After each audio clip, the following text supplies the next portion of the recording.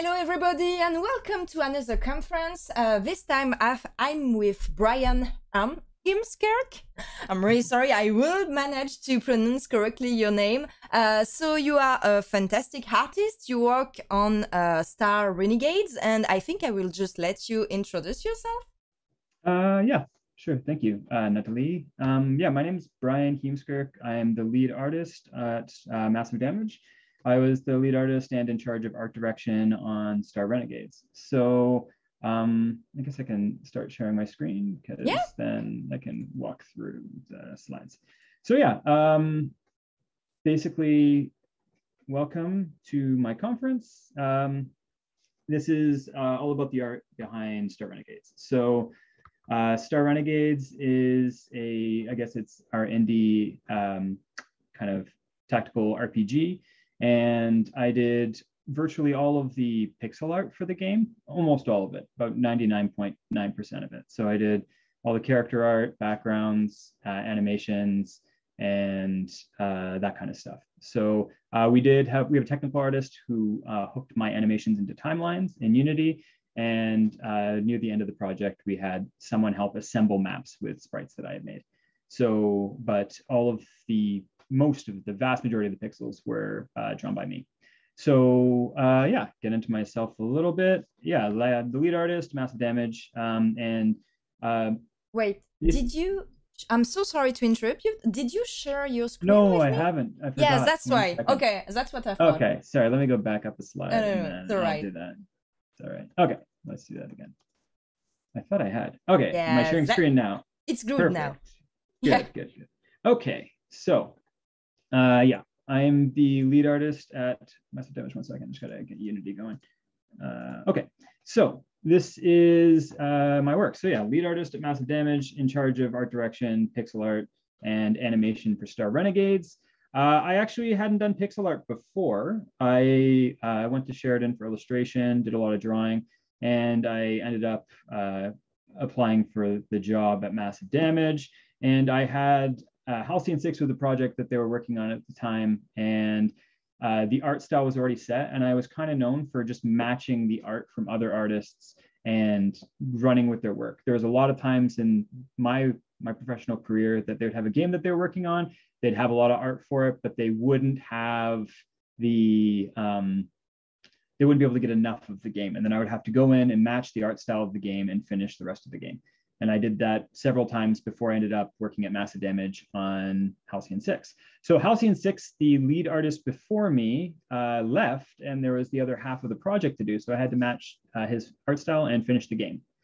So um, that led to Star Renegades. So after Halcyon 6 wrapped up, uh, we needed to do a pitch. So we had to do a pitch uh, to uh, for grants and stuff with the Canadian government. And uh, the initial pitch was for a spin-off kind of quick successor to Halcyon 6 using a lot of the existing stuff. And it was the very first game that I was in charge of art direction for. So I had worked on a lot of games, but almost always I was working under another artist. And this was the first thing that was entirely me. So I had a lot to prove and a lot of work to do. Um, so anyways, I was creating the art style, not matching an existing art style. Uh, and this logically, after uh, iteration, followed its development course and turned into a space motorcycle game. So this was kind of the initial, we, we wasted about five or six months uh, leading the game in a completely different direction. We went away from pixel art. We were playing around with, uh, we started with pixel art with it and then it was uh, all about like a tactical grid-based RPG using hexes and space motorcycles, which was kind of funny. So we went down that path initially, and um, I was developing uh, pixel art styles for it, trying to figure out how we could do motorcycles. We actually, um, the one thing I was pretty proud of though is we did a node-based bike building system and it worked in Unity. It was pretty cool. You could actually assemble all different bikes and you could make it look really different by changing the skins. So uh, it was a bit of a segue and it kind of led us in a different direction with the project. But um, what ended up happening was we went to Gamescom and a couple of conferences, and it just wasn't getting picked up. So we completely we had about six months to pull something out. So we were out of time with nowhere to go, and uh, Peter and I got together and we had like a few weeks to a month to come up with a teaser trailer for a different version of Star Renegades that was going to be all pixel art. Because when we went to the conferences, they're like, you had so much success with Halcyon 6. Why aren't you doing pixel art for your next game? Right. And, anyways, so that was kind of how that followed its course. And we ended up, I experimented with a couple of different styles. We went down a certain path. Um, and uh, I, we were referencing very specific things. So trying to get the feel of classics like Chrono Trigger, Final Fantasy VI, the Castlevania games, um, and also mixing it with the latest pixel art games. So at that point in time, it's like pixel art plus seemed to be the big trend. And the way that I would describe pixel art plus, sorry, let me know if I need to slow down or anything. Um, it's all right. Okay. Uh, pixel art plus is kind of taking like a base layer of pixel art and then mixing it with other things. Oftentimes they do like big gradient overlays. You'll see like purple gradient. So it's like you're not, because you don't have the same limitations they had on the NES or the Super NES, right? We can have um, the base pixel art, but we can do gradient washes and stuff. And that's what you started seeing with games like Hyper Light Drifter, Dungeon of the Endless, things like that. You would have big color swatches on top of um, more simple pixel art, and then because you're not fighting with that color limitations. So um, we had specific things that we wanted to do. We wanted giant enemies. We wanted no outlines in our pixel art because it was it seemed like it was a trend to go away from outlines on characters in pixel art at that specific time. And we wanted to kind of create our unique identity in that. It was happening in a lot of um, fine pixel art on Twitter and other places. And um, I wanted to put, these are personal things, I wanted wind in my sprite animations and it to be lit consistently. So with those art direction goals in mind, um, my rules in were no rotated pixels because I feel like they take you out of the aesthetic of the game. Um, like I, it always bothered me in games other than like Super Nintendo games where they would have mode type seven rotations and stuff. Um, I didn't want any rotated pixels in the art. I wanted wind always, which was a pain in the butt, and uh, beautiful, serene landscapes worth saving because uh, too many games were post-apocalyptic, especially around that time, and we didn't want you to feel like, what's the point in doing these fights? What are we saving, right? Um, and very animation heavy, which is uh, so just lots of frames, big sprites on characters. And that led to this little animation sample that I did. It's a very quick uh, animation sample that I did just to get a feel for what maybe Star Renegades would be. Um, okay, so, uh, and from there, I took it and did the waterfall scene, which a variant of did make it into the final game. So, uh, yeah, from there, with all that in play. I'm going to play this. Hopefully the frame rate's okay. Mm. But this is um, the first teaser that I went to GDC 2018 with. Um, so, so too loud? Well, now I don't hear anything. I will tell Okay, you. should we pause? And I probably, oh, I'm not sharing with sound. One second, let me share with sound. Oh, that's why. Uh, let's see, I think I gotta stop share and start it again real quick. Okay. Start share, and I just gotta click share sound in the bottom corner. Done. All right, let's try that again. Let me know if it's too loud. Yeah, it's a little loud. It's a little. Is that? Okay.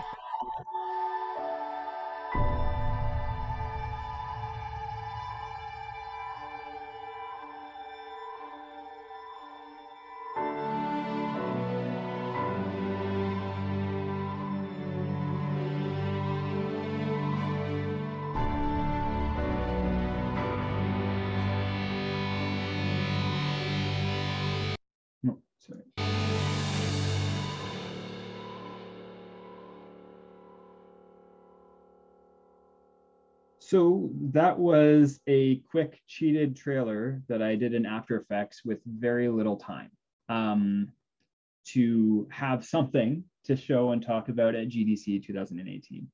Um, it's kind of funny because uh, on the plane ride to GDC 2018, I ended up flying from Toronto to um, LA, and I was seated next to one of the lead artists on uh, Red Dead Redemption 2 before it came out. And we had like a four hour talk about art in video games and how games can look like anything. And that's kind of the odd thing about games, right? Where it's all about finding an art style to match what a game is and not about what you know there there are no limitations in terms of uh you like it has to be this way or that. It's about finding what the gameplay is finding what it feels like and then trying to pick an aesthetic to match that. Um, so when it came to characters i always did pixel art first which i didn't do any uh any other concepts or anything or like full drawings. I would do pixel art first and i would try to create really interesting silhouettes and then as time, if we needed more detail or anything like that, or if we were using it for things, then I would draw concepts from the pixel art so we can elaborate up from the pixel art. Um, so that kind of led me to, let's see, uh, these are just sketches, random sketches in my sketchbook from Star Renegades. So if I had characters or moments that I liked, I would just draw them out.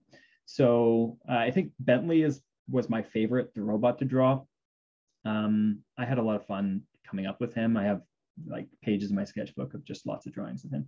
Uh, initially, I had the idea that he was programmed to always feel cold, and that's why he wore clothes like wore the cape and the it, just because he always felt cold. It was like a test robot for that. I didn't end up going that way in the story, but I think it's kind of funny. Um, so, anyways, just some sketches. And these were the concepts that I did for the key art for the game. So when um, we were doing the animation for with brick animation, the intro animation for Star Renegades, I had to do the character scene with all of the characters drawn from different sides, um, just so that they had reference to do that. So I did all of the drawing concepts when that came, and then I did all of the key art for the game. Uh, it was kind of interesting because I was really pressed for time and I was trying to do all of the animation and everything for the game. And my my boss, uh, the CEO, was looking. He's like, well, maybe we'll hire a concept artist to to just do the key art for the game. I'm like, no, it has to be me. I know I can do it too. And then I pushed and I did all of the key art for the game as well. So this is just some of the key art that was used. Um, different style, obviously, than the base pixel art, but um, it kind of guided the direction for uh, several things that went into the game. So uh, characters, there's a lot of things that go into the characters for the game. They have their large talking portraits, um, which were kind of fun to do. Now, this got to be a, a kind of interesting point because when I finished Halcyon 6, it was actually the last week and a half. Initially, they had for Halcyon 6, if you watch the early trailers of it, you'll see that they had yo yo mouths. So they would have just flat pictures and there was no animation and the mouth would just yo-yo up and down for the talking scenes. And it was like that all the way until the last i think two weeks right before we shipped the game. And then i went in in the last week and i redrew and animated by hand every character for halcyon 6 and we did the exact same thing with star renegades. We had like a month left and i went in and i i made all of the animated portraits. They were just static and then i just went and animated them all in the last week or so couple weeks of the project um, so one of the big things with Star Renegades is typically, and this is it's a harder thing to talk about with people that are not gamers. Sorry, harder to talk about with gamers. It's easier to talk about with artists. Mm-hmm. So um, this is the big mistakes of Star Renegades, as I put it, and this is kind of one of the central themes of my talk. They're not mistakes, but they're things that cause problems. So they cause problems and they have benefits. So one of the things that I did as a sample is I doubled the frame rate. So most pixel art in games, in traditional games, and most NES and Super NES games, the vast majority of not the game animation, because this is where it gets tricky, because people assume they want 60 or whatever 120 frames per second in games but that's your camera movement your game logic things like that no pixel art game has 60 to 120 drawn frames animated. It's not how it works. Um, so we did 20 fps a lot of pixel art games have 5 fps for their character animations not for their game logic. And the, the most good ones have about 10 and i did a 20 frames per second animation sample for the game, which is means you're drawing a, a lot more frames for everything essentially in the game. Um, so doubles the fluidity of the animations, but also doubles the work.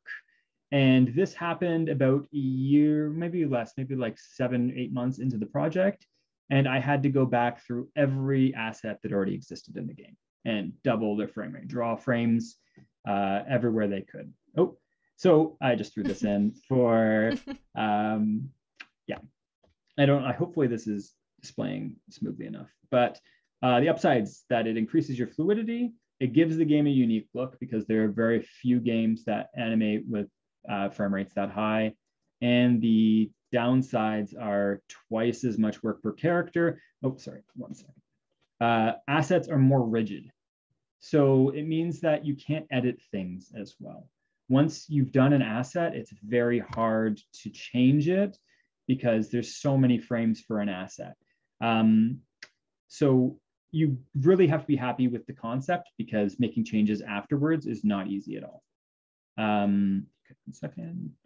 Uh, and your game actually, the size of your game can be an issue. So sprite sheets can be very large. Like, so this character here would fill up uh, around as eight texture atlases with the quantity of frames that we have. So if you imagine dedicating that much resources to a single character, and when you have whatever, sometimes you have six or 12 of them on screen at once, it can get pretty costly in regards to animation. Um, so this was a huge sprite, the one that's playing in the corner. Um, it was a fun one to work on. I think it took me longer than any of the other ones in the game. Uh, yeah, so the Imperium, this is the enemy units and Star Renegades. Uh, just one second, let me just pull Unity off and hopefully get it. Just push play here, and then I'll come back. Okay. Uh, I wanted to have them be like mechanized where they were like modifying themselves and playing, and that was the enemy units in the game.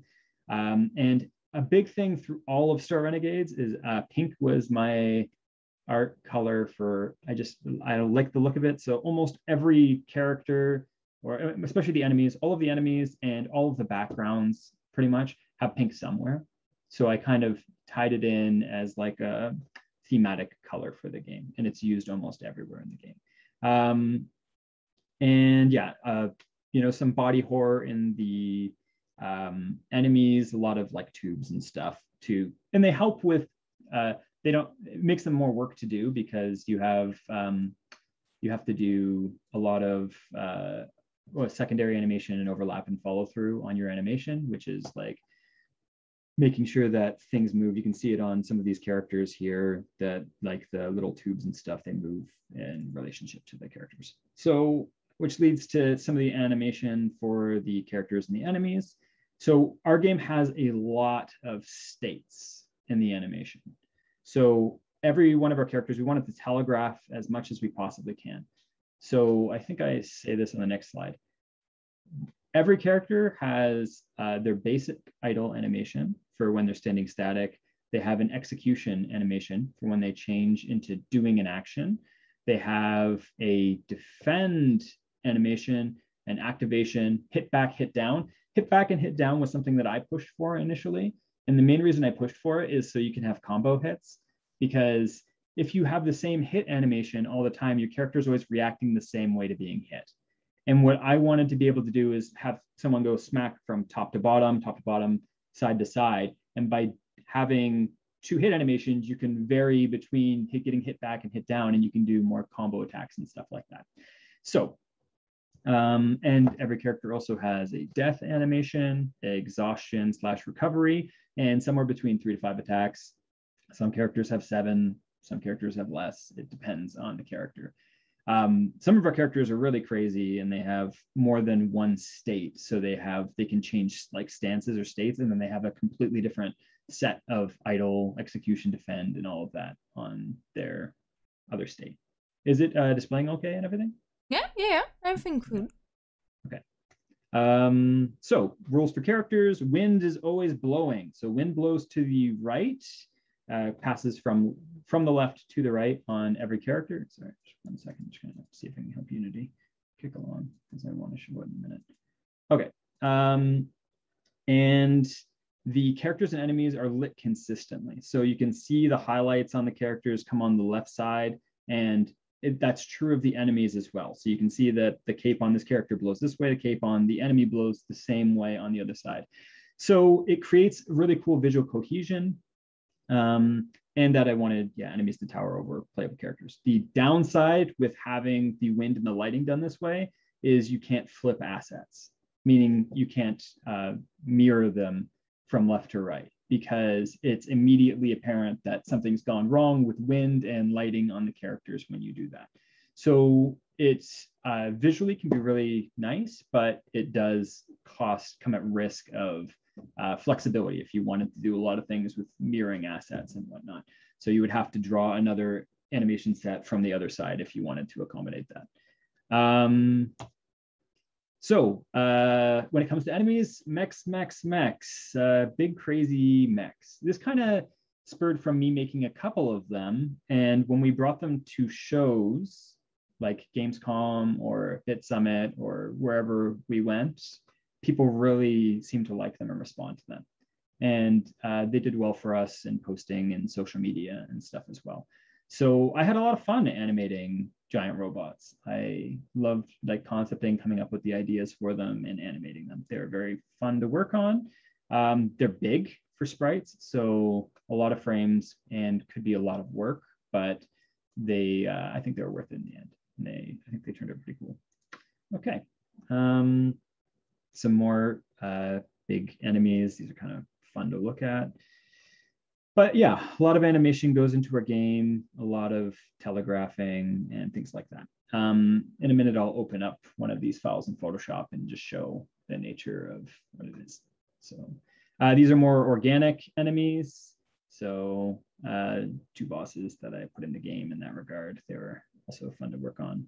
Um, yeah, let's see. Uh, and in regards to animation, every once in a while, uh, just try to have fun and stay inspired. So I, just for absolutely no reason in my spare time, animated what my dream roster would be for console exclusive characters. So I did a Samus and a Master Chief and uh, Aloy from Horizon Zero Dawn and they all did really well on Twitter, uh, which was cool to see because I posted those out.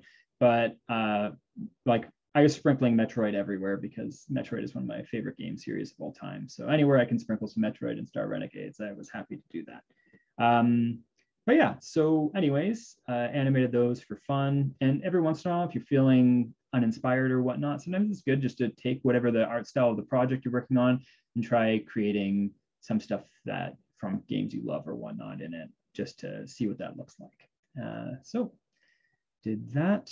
Um, now, the big beast of Star Renegades, which was uh, backgrounds. So this is kind of a funny thing for me. Uh, sorry, do you have anything, Natalie? Or? No, it's, it's okay. No, I, it's okay. funny uh, if you say it's uh, the big last boss is the background. I found it was funny yeah it's it's kind of funny for me because when i worked on other art projects before like other games and things the first thing that i would avoid doing if i could was backgrounds. So i would avoid doing them at all costs just because they're a lot more work i have more fun typically with characters and stuff like that which is funny because what people responded to the best out of probably my work in star renegades ended up being the backgrounds so sometimes what you're avoiding doing is what you maybe should be doing. Um, and that's kind of an interesting thing. So by doing backgrounds for Star Renegades, um, this one's not from Star Renegades, but the rest are. Um, so my background rules were storytelling through setting, like Dark Souls. I love playing the Souls games, and they don't usually tell you much about what's going on but you see the world and the world makes you the world makes you think about what what is going on here right? It's just like you're in a setting and you're like what does this mean? What does this area mean? What is like and the lore is kind of things that you can pick up on secondarily and i wanted that to be something that goes through. Uh, pink everywhere. Like i was saying earlier um, i sprinkled pink everywhere through the game. So you can see pink here and here and all through the sky and over here and there so it's a secondary color so it created a cohesion kind of through the entire game everywhere you go every background you're going to see some pink somewhere so it's like this universe is just obsessed with pink for some reason um, and no mundane locations. So that's the big thing. A lot of a lot of games you play, the backgrounds are generic. It'll be like this is a forest or this is a field or this is that. And I wanted to get more like Dark Souls like lore into settings where you're like, why am I here? Why is this giant thing here? What's going on with these kind of things? So uh, those were kind of my thoughts and processes. Um, so initially, all of the backgrounds were completely two-dimensional in Star Renegades. Um, I drew everything for the game on a oh, calculator. I drew everything on a 640 by 360 canvas in Photoshop. And the reason I did that is because 640 uh, by 360 multiplies perfectly at two times integer scaling to 1280 by 720. At three times, you get 1920 by 1080, so perfect 1080p. And at, um, sorry, four times? Four times, you get 2560 by 1440 or 1440p. And at um, five times, you get 4K. Or no, sorry, six times you get 4K. 640 times six, you get, yeah, 3840 by 2160 for 4K. So if you draw everything at 640 by 360 in your canvas, you can do some bleed or whatnot if you're gonna have camera crop, you get perfect integer scaling. So it means that you can um, not worry about fuzzy pixels. You can draw your background, draw your scene, and have that um, come to life. And know that your pixels are going to scale properly. So uh, if you're working on a game and you know your canvas, the uh, opposite is exactly half of that. So if you wanted your game to have bigger pixels, you can easily do 320 by, I have to figure that out. Uh, I don't know what the other digit would be, but it would be 320 by something, and that would give you exactly half. I think it's 320 by 240. Um, so those are good for a perfect 16 by 9 aspect ratio, so a widescreen aspect ratio for um, these. So uh, animated all of the backgrounds by hand. I can uh, open a Photoshop file at the end if we have time and show through some of these. So some of them I just had fun with, with different scenes, um, trying to create unique and interesting backgrounds. Okay, um, so this leads us, oh, this one is like all just parallax shenanigans. So uh, you always, with 2D games, you have parallax to play with to create the illusion of depth and things like this. Um, so that led us to this GIF, this image that I did. This actually, oddly enough, when we were at Gamescom, it was 2019, Gamescom 2019, uh, this one went viral on me. It was the number one um, pixel art on Reddit and I found out while I was at a German wine festival, which is probably the wrong time to find out. And um, I was extremely anxious. And I think that there's there's something interesting going to Game Developers Conference and going to is because I think that there's an assumption from a lot of the public and whatnot that when you find success with anything, that it should make you feel good and everything. And I found that the more successful images that I had done got, the more anxious I became. It almost stressed me out more to see that many people interacting with uh, my work, even if it was positively. In um, yeah, so yeah, so I did this image and it was really taking off. Um, the game was getting a lot of traction. We delayed how long because uh, and we kept getting more funding for it. So we delayed. First, it was supposed to come out. It was supposed to come out every six months. It was it's supposed to come out six months later and then we secured some more funding, and then it was supposed to come out six months later than that, and that's supposed to come out six months later than that. And then uh, Raw Fury saw the game, and we met with Raw Fury, and they were super interested in it. And they flew my bosses to, uh, to Stockholm, I think, Sweden, to show the game and talk about it.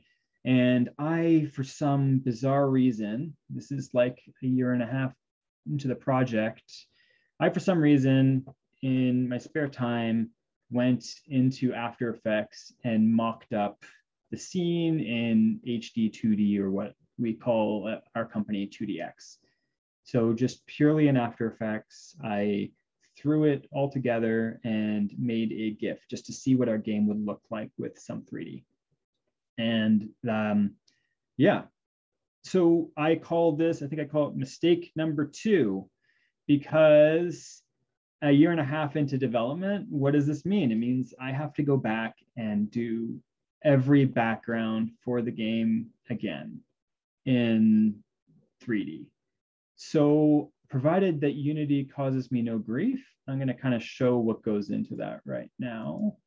But I was having problems with Unity crashing on me today. So I'm going to pull Unity on the screen. Can you let me know if you see it okay?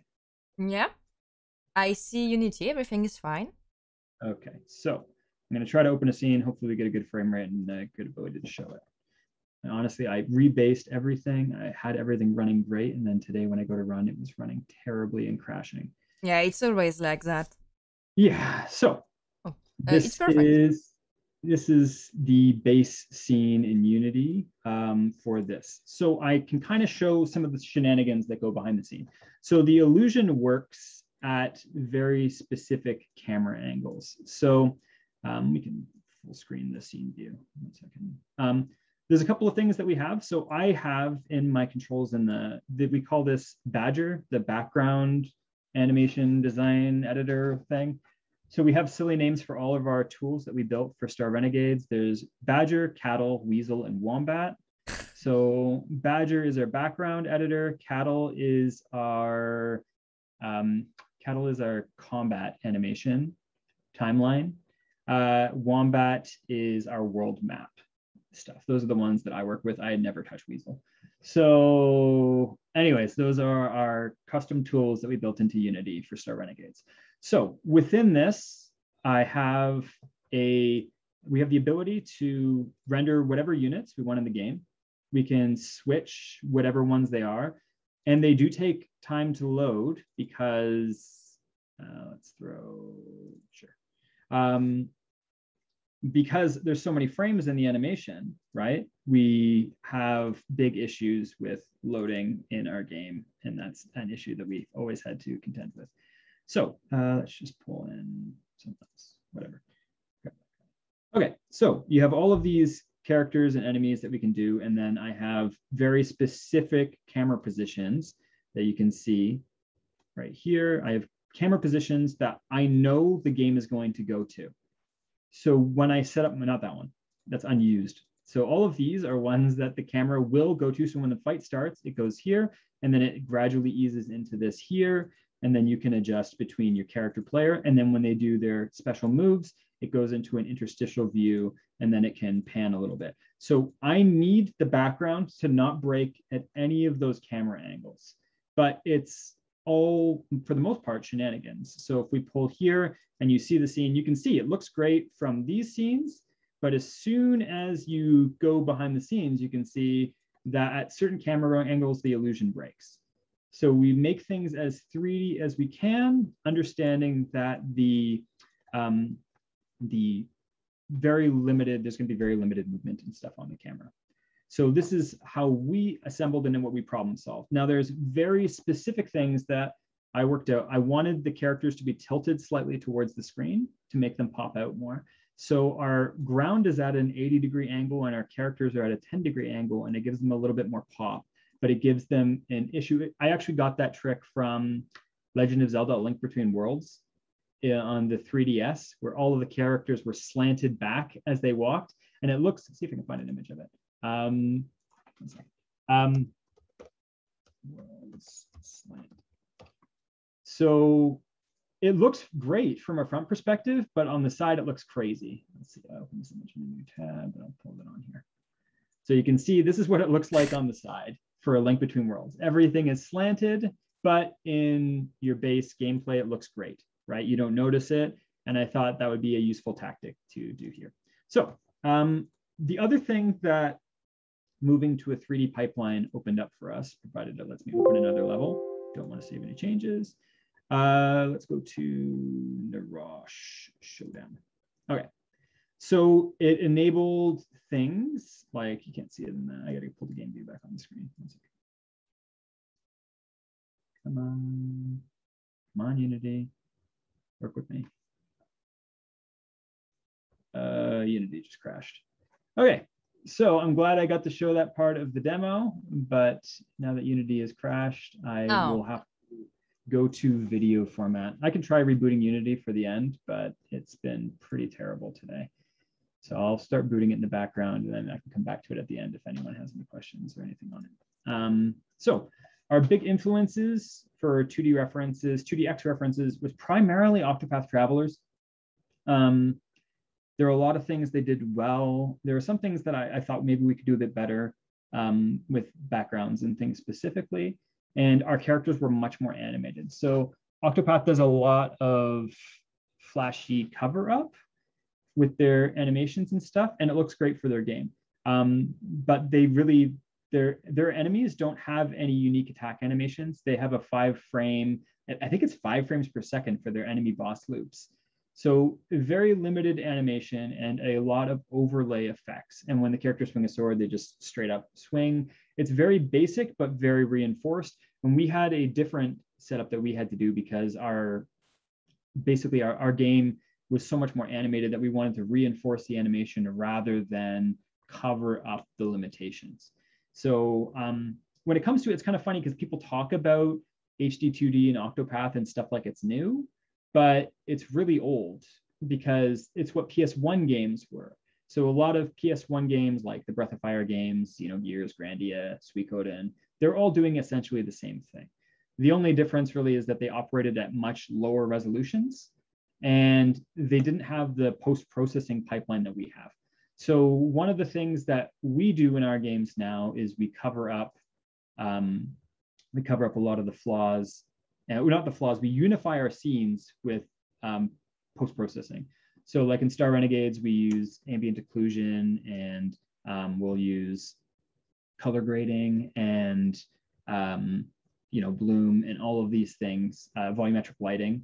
We have volumetric lights as well to unify our scenes. Um, and that just creates a visual cohesion among the game and that kind of stops it whereas on ps1 games you have the units stick out a lot more between there's a more of a, a contrast between the 2d elements and the 3d elements whereas we can mask that better with modern games using modern post-processing and effects and also unify with lighting. So um, i really hope unity loads again because i was going to show lights and stuff as well. Because um, we use volumetric lights and we use uh, regular lights and things like that in star renegades so those are the advantages. We can light the background and the characters evenly and things like that. Um, 2DX rules. So the rules that I put in place to function within 2DX or HD2D, we, we literally don't call it HD2D because Square Enix copyrighted it.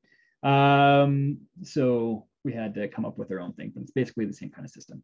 So pixels, this is my rule visually. Pixels need to be the same size in the foreground as in the distance. Not and this is something that's always at risk with um, this specific thing. So it's about scaling the assets so that because I drew them all on a 640 by 360 plane, when I push something back, I want it to be massive, but it still should only be as many pixels as it would be compositionally, if that makes any sense. I'm just trying to figure out how to word that. And this was kind of my rule for 2DX um, that I wanted, I didn't want you to have big chunky pixels or inconsistent pixel sizes in the art. I wanted consistency throughout, so it gave you the feel of playing a classic pixel art game where your canvas and your pixels were the same size, but it's distributed in a 3D space. Obviously, the exception is the floor. You really can't do too much with that. The floor is going to be tilted into the distance, and it's going to have the pixels changing in size. That's just the only caveat is you can't control the pixel density on the floor. Um, we did end up using our own custom variant of a pixel anti-aliasing so that we could have anti-aliasing and have our pixel art in our game. Um, so uh, once again, I didn't want any rotated pixels. With 3D, it's easy to do rotated pixels, but I didn't want to do that. Uh, I still didn't want to. I wanted to have that visual cohesion. And you really need limited camera movement. You have, like I showed in the, the demo in Unity, you need it not to break in those camera positions. Outside of that, it can break as much as it wants, but just make sure that you have a framework where the illusion is kept. And um, one of the things that I did to get the looks that I want is I would, we had, I think we had five different lighting planes. We had our default, foreground, midground, background, and overlays. So five, five lightings. And I could set different things to be lit by different lights. And that allowed me to punch up backgrounds if I needed to, or other things to uh, create different effects um, using lighting. And then the big one, combining pixel art, classic pixel art with a modern pipeline, which is what I was talking about with Octopath, the difference between that and classic PS1 games, is that we can do things like lights and volumetric lights, particles, ambient occlusion, color grading, depth of field, vignettes, bloom on top of our image to unify everything so that the things that are 3D and 2D are, are at least unified in some way. And then, yeah, talked about the 80 degree tilt. And this enables backgrounds that would have been impossible otherwise. Um, so obviously enabling things like screen space reflections on the water. I think we used, we didn't use screen space, we used planar reflections. Um, but this is a video, I figure I could talk over it, but it goes through all of the backgrounds in the game and uh, within their set camera positions. So each of these backgrounds, it's an eight minute video, so I might skim through some of it. But um, basically this, these were the frameworks, and then these are all the backgrounds that I came up with in these settings. So you can see, you know, volumetric effects and uh, particles and things to help unify the scene. We have lighting from different positions, sometimes in different backgrounds, and um, a ton of pixels that kind of go into everything. Uh, the cool thing with it too is you could use this to really uh, make like in this forest scene, you can see that the characters are like lit. They're slightly more darker in their lighting and things, and you could do other things like that to help unify the scene. Um, so yeah, there's there's lots of backgrounds that went into the game. Um, the all of the grass. I was in the Netherlands during um, Gamescom 2019. Gamescom 2019 and uh, they had a lot of. Um, we went into the the Kinderdijk, um, and they had big swing grass like that. And I took a whole bunch of videos and I I drew my own versions of the grass that I saw at Kinderdijk, which was kind of fun. Um, but yeah, you can see the unified lighting assets like this. We have a lot of volumetric lights and things that go into the scene. So these are some of the backgrounds in the game, well, pretty much all of them. Um, that's the one I did for the trailer and the top of the room. There's the uh, yeah, Crystal Titan, so on and so forth. This factory was fun to work on. Um, so yeah, lots of lots of unique backgrounds to the game, lots of uh, different ways where I was trying to create personality for a game, try to create a unified universe. You'll see pink everywhere uh, on all of these and fun volumetric lights coming from the eyes on this one, and so on and so forth. Uh, but yeah, this was kind of the direction that I ended up going. So it was a, not a mistake in terms of, you know, obviously um, it had pretty, pretty positive reaction in regards to the visuals of the game, but it was a bit of a pain to go back and having to reassemble and resprite all the backgrounds in the game differently to accommodate setting them up in a three-dimensional space. Um, yeah. More screen space reflections, things like that. Uh, sorry, planar reflections. Waterfall. This waterfall was a nightmare to animate. Um, it's a massive, I animated most of it. I was trying not to tile it by hand. So I was like hand drawing the different changes in animation. Um, yeah, so many backgrounds, so many things. So Um, I drew, yeah. uh, I'm sorry. Uh, Damien Mayens is asking, is the floor in 3D? The floor is a three-dimensional plane, but nothing is modeled in 3D. They're pictures that are more, so it's everything is built out of PNGs. We don't have any uh, like OBJs or FBXs in 3D, which is something that's different between us and Octopath. So Octopath had all of their environments 3D, and they tried to simulate P, so they're, they're modeled in 3D, and they tried to simulate pixel art by doing really low resolution textures with integer scaling on them with no bilinear filtering, because bilinear filtering will um, make the texture look really blurry. So they did that route to try to make their pixel art, um, their, their backgrounds mesh with the pixel art, whereas ours are outright pixel art planes. Some of them I wish Unity was running and I could show because some of the planes, it's like I would put some things at different angles and whatnot to try to cover up different things. So some aspects of it, it's like this here on, oh, sorry, one second. This on that specific spot here. So this under plane here is another image underneath, right? There's no side of that platform. It's two drawings that are different, displaced at different heights to create the illusion that you're seeing the edge when you're actually not seeing the edge, um, which is kind of funny. Um, so there's there's that, and similar with some of these things, like the fingers are all different parts as they come up.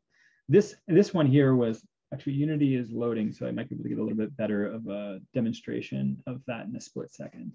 Um, but yeah, there's a lot of, of different planes tilted in slightly different ways to try to create that illusion. I don't know if that successfully answers it. Um, let's just see if there's any other backgrounds noting the train. So there's the, obviously the fields. These are kind of fun ones to work on. Um, animating different things, uh, using reflections, volumetric lights again. Um, train, this is, I should show you the train because it's utter shenanigans behind the scenes. There's nothing, it's a ton of parallaxing. So uh, layers. If anyone here has used After Effects, one of the key features for faking two-dimensional animations in After Effects is using offset animations, where it essentially just keeps scrolling an image and moving it from left to right. So uh, there's several features from After Effects I asked the developers on Star Renegades to build into Unity for me to play around with so that our, our two-dimensional, uh, sorry, our, our sandbox for building levels was more similar to after Effects in certain ways. So uh, things like overlays, like Photoshop overlays, we have the ability to put essentially layers that behave identically to them into Unity. We have the ability to do lots of um, uh, lots of parallax and offsetting animations on backgrounds with all the layers like that. Um, some of it was a nightmare. We have an elevator level where um, it was more math than art in a way because just trying to make all the layers look right as they move into the distance. Um, if I can get Unity back up and running, I'll show some more details on some of these things in a second. And I'll open um, a carrot. Sorry? Well, just about what you just said, um, Marion Denmat asked any advice on what kind of what kind of custom tool we should implement to help artists integrate their work in Unity? That's a good question. Probably more one for the developer than the artist. Uh, um, uh, well, just we, about you just uh, said that uh, you know um, some tools uh, in After Effects you ask to bring them into Unity. Yeah, so the ones that I specifically like, I was asking for aspects of After Effects and Photoshop to be mm. put into Unity, and uh, for us to do that the best way. So offset animation was a big one for that. layer blending, so like specifically with Photoshop, when you're modifying an image, you might do something like an overlay layer or soft light or hard light or multiply, and they're all different means of blending layers behind things to create um, different kinds of looks. And sorry, I'll stop sharing my screen for a second. Um, and I'll start sharing again in a second. Um, so you can use those things to create uh, specific looks. And so I asked for those to be put in. Um, also, like blending can be a big of an issue, bit of an issue with Unity. So you'll see in a lot of our backgrounds, we have lights that kind of go in the corner of the screen and they move across and making sure that they blend properly at different distances was a big thing that I wanted. Um, in regards to, I, I had them, if I get Unity open, I can show you all of the custom things that we've built. Um, I think it might be open, but I'm a little wary. Just give me a second. Pull it onto the screen. I'll start sharing screen again, and I will try opening a background and hope that things work out. Okay. Um, just pull this over. It's not letting me nest again. I'm going to shrink this down. And then I can show those tools. Come on, there. It's not letting me scale it for some reason. Sorry about this. This is the Sorry. Sorry. part of the talk when Unity isn't behaving properly. Let me just scale this. I can scale it. Okay, let's open a level. Um,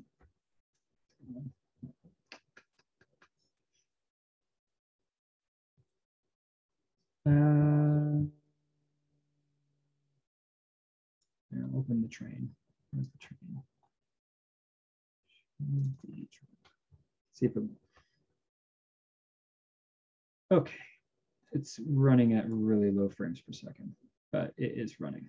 Um, I have to literally click play and reload everything again, but I can at least show some of the tools here. So if I pause the scene, maybe I can get a better, better shade, uh, display on it. Come on, move this under the screen, see the scene view. Okay, okay. So in this scene here, is it going to move around? Okay, so I pause the scene so you can see some of the breakdown of this. So if you zoom out, if it lets me, okay, zoom out, you can see the window this scene operates on. So these are just multiple offsetting images. So the features that I was asking for, I'll close the recorder, I don't really need it. Okay. So let's just pull this over here for now. So slow. Okay, so in here we have our base. So with each of these layers, um, specific things that I had built in, you can see I have off shader offset animation in uh, what I pulled in here. And then I can choose from there uh, how, uh, not that one, mm, offset animation right. Just click here. So from there I can choose it uh, moves left or right its duration, so how long it takes, so I can speed up or slow down specific layers, and I can adjust the curve of which it does. So um, we kind of built in these tools that let me do very specific things from Photoshop, and also with our lights. So with our light system, we have uh, subcomponent level subcomponents for animations. So we built in, uh, where is it? So I can change the light color whenever I want, or I can adjust the float, so how bright or how dark it is, or I can set specific movements on them. So I just have, we have specific controls that we built into um, our light and our, our assets to do specific things. Another one, which is a kind of classic, let me open a different background and I can show it. Uh, I gotta click play, so hopefully it goes in slow motion. Hopefully it doesn't go in slow motion. But uh, another one that I built in was, I asked them to build in was um, uh, specifically uh, doing uh, water animations the way they did in classic games, where you can uh, just distort in kind of a wave pattern pixels on a sprite. And I also use that for a couple of trees on levels where it wasn't as important to have the trees look absolutely perfect. So um, those are some of the things that I worked on. Sorry, Natalie. Uh, just to tell you, we have um, less than five five minutes left. So... Oh my goodness! Yeah, I'm sorry. I, I, should have told you earlier. No, no, that's fine. I'm okay. glad that I've, I've actually filled up the time. I was worried the inverse would happen, so I'm not too worried about that. Okay, so uh, the other thing that I was just going to go over lightly is our map system. So we started with a straight up node system, um, and then we were trying to do like a room assembly system. And then that kind of developed from there to our first demo where it was like a node based on this pink planet. And then we had little dungeons and that was all done in regular art, uh, just pixel art outright. And then we had to expand that. And then we kind of let us meet at this concept where I just outright drew this specific planet. And we were trying to recreate that look any way that we could in game because we were all pretty happy with it. We had these little side areas you could visit that I thought looked pretty cool in pixel art. Um, and, uh, you know, unfortunately, they're not in the game in this way, but it was a pretty cool way to do things. And uh, my big inspiration for this was I like the maps from Chrono Trigger. So we were pushing for kind of like world maps similar to Chrono Trigger. And that let me make really cute map animations of every character in the game, which was fun. So uh, it was kind of interesting to have to do all of your bosses and stuff as tiny little animated sprites. Um, so from there, we had to create, uh, find a tool that recreated that. So we ended up using tiled as the tool. So I can show that really briefly but we had very specific means to do this. So within tiled, you'll see we have uh, this layer of polish objects. So that is all of your overlays, your Photoshop overlays, and then we've set them to call specific shaders. So if you click on any of those assets, if I unlock them, uh, sorry, not one. Let's see, Let's just grab one of these if I can. Photoshop, they're all locked. Um, but you have these big overlays and then they'll call to a shader that we've set up for whatever Photoshop uh, blend mode they're supposed to be. So overlay or offset or things like that. Um, these are all the moon because that was the last planet I did. And then you have, yeah, more of these Photoshop blend modes. And then within our map, we had set tilted objects. So there's specific layers that are set to be tilted so they'll be on a different axis and then we have the other ones. And then through that, we could actually stagger at different heights. You can see that we have the height set over here and then that plugs into Unity and then we can have a 3D kind of stacked pixel art background. And then we had to do skirts. So these little skirt layers that kind of wrap around the outside of all of these locations. So I drew most of the assets for all of the tiled setup, all of the, the tiles and things like that. And then uh, Evan uh, made most of the maps for the game. And Christian made the maps before him. Um, so that is, sorry? I'm really sorry, but we are almost up. I just wish you have the time to finish everything you want to say, but don't worry, we have one hour to mm, get in the details just after, so okay. don't stress too much. Okay then I will end on that. Okay, perfect. So... the timing is perfect. Um, we have answered already uh, the two questions I've seen in the chat. So um, I don't know if anyone else have question question, but please, um, if you have que- questions, uh, stay with us. You can uh, meet us again in the backstage. Uh, we will have one hour to answer every question, and maybe you will be able, uh, Bryan, to go into a, a lot more detail about everything you like.